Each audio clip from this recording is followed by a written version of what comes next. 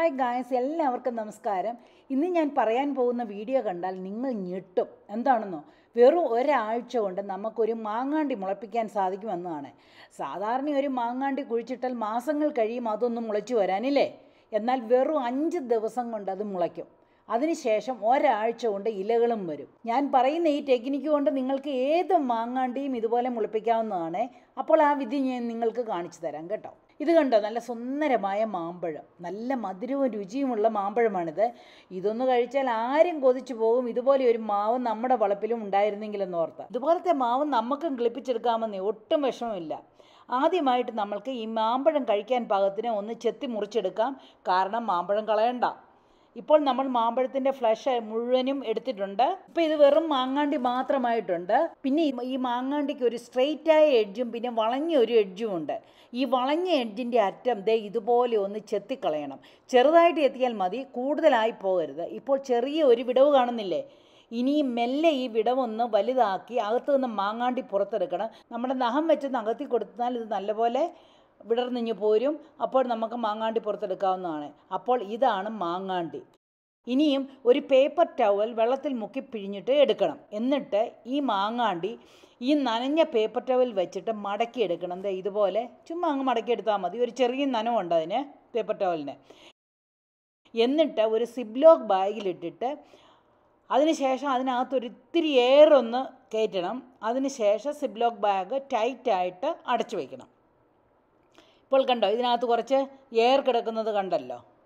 പിന്നെ നമുക്ക് വേണമെങ്കിൽ ഇതിന്റെ മുകളിലത്തെ ഡേറ്റ് എഴുതി വെക്കാം അപ്പോൾ ഇതൊരു അഞ്ച് ദിവസം ആകുമ്പോഴേക്കും നമുക്കിത് തുറന്ന് നോക്കാവുന്നതാണ്.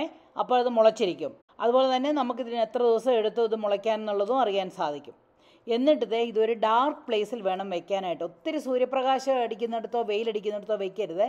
എവിടെയെങ്കിലും ഒരു ഡാർക്ക് പ്ലേസിൽ വേണം വെക്കാൻ. ഒരു അഞ്ച് ദിവസം കഴിയുമ്പോൾ നമുക്ക് ഒന്ന് തുറന്നു നോക്കണം. ഇതിപ്പോൾ അഞ്ച് ദിവസമായതാണേ ഇത് ഞാൻ തുറന്നു കാണിക്കാം. ഇത് കണ്ടോ? ഇതിന് വേര് വന്നിരിക്കുന്നത് കൂട്ടത്തിൽ കണ്ടോ? ഒരു മുള കൂടെ വരുന്നുണ്ട്. ഇനിയും ഒരു ചട്ടിയിൽ നല്ലവണ്ണം കുതിർത്ത പോട്ടിംഗ് സോയിൽ ഇട്ടിട്ട് ഈ മാങ്ങാണ്ടി അതിൽ കുഴിച്ചു വയ്ക്കുക പോട്ടിംഗ് സോയിൽ നല്ലവണ്ണം നനച്ചിട്ട് നല്ലപോലെ പിഴിഞ്ഞ് നേരെ ഒരു ഉരുണ്ട് ഉരുട്ടാവുന്ന പാകത്തിനാകും അതാണ് അതിന്റെ പാവ്. അപ്പോൾ അങ്ങനെ എടുത്തിട്ട് ഈ മാങ്ങാണ്ടിയുടെ വളഞ്ഞ ഭാഗം മുകളിൽ വരുന്നത് പോലെ വച്ച് കുഴിച്ച് വയ്ക്കണം. അതിന്റെ മുകളിലോട്ട് പിന്നെയും പോട്ടിംഗ് സോയിലിട്ട് വയ്ക്കണം. അതിനുശേഷം ഒരു ഇത്തിരി വെള്ളം കൂടി വേണേ ഒന്ന് തളിക്കാം. എന്നിട്ട് ഇനി ഇതൊരു സിബ്ലോക്ക് ബാഗ് വെച്ച് ഇതുപോലെ കവർ ചെയ്ത് വയ്ക്കണം. ഒരു റബ്ബർ ബാൻഡ് കൊണ്ടോ അല്ലെങ്കിൽ ഒരു ചരടോ ഇട്ട് നല്ലവണ്ണം കെട്ടി വയ്ക്കാം. പിന്നെ തൊടുവേ ചെയ്യണ്ട ഒന്നും ചെയ്യണ്ട. ഒരു അഞ്ച് ദിവസം കഴിഞ്ഞിട്ട് ഇത് കണ്ടോ? മാവ് കിളിർത്ത് വന്നിരിക്കുന്നത്. അപ്പോൾ നമുക്ക് ഈ സിബ്ലോക്ക് ബാഗിനകത്തോടെ നോക്കിയാൽ കാണാം ഇങ്ങനെ മാവിന്റെ ഇങ്ങനെ കിളിർത്ത് വന്നിരിക്കുന്നത്. ഇലയൊക്കെ ഇങ്ങനെ ഇത് വളഞ്ഞിങ്ങനെ വരുന്നത് കാണുമ്പോൾ നമുക്ക് അന്നേരം നമ്മൾ ഈ സിബ്ലോക്ക് ബാഗ് മാറ്റിയാൽ മതി. ഇനിയിപ്പോൾ നമുക്ക് ഈ സിബ്ലോക്ക് ബാഗ് മാറ്റാം. കണ്ട മാവ് കിളിർത്ത് വന്നിരിക്കുന്നത്. ചെറിയൊരു വളമുണ്ട് ഇതിന്. അത് ഇനി ഒരു ദിവസം കൊണ്ട് അത് നിവർന്നോളും അതുപോലെ നമുക്ക് ഈ മാവ് ഒന്ന് രണ്ട് മാസം ഈ ചട്ടിയിൽ തന്നെ വളർത്താവുന്നതാണ്. നല്ലപോലെ ഇലയൊക്കെ ഒന്ന് വന്ന് നല്ല പച്ച ഇലയും വന്ന് ഒന്ന് സ്ട്രോങ് ആകുന്നത് വരെ ഈ ചട്ടിയിൽ തന്നെ നിർത്താവുന്നതാണ്. അതിനുശേഷം വലിയ ചട്ടിയിലോ അതോ നിലത്തോ കുഴിച്ചു വയ്ക്കാവുന്നതാണ് ഇത് കണ്ടോ? ഞാൻ ഇതുപോലെ കിളിർപ്പിച്ച മാവാണ് ഈ ചട്ടിയിൽ നിൽക്കുന്നത് കണ്ടോ? നല്ല വലുതായിട്ടുണ്ട്.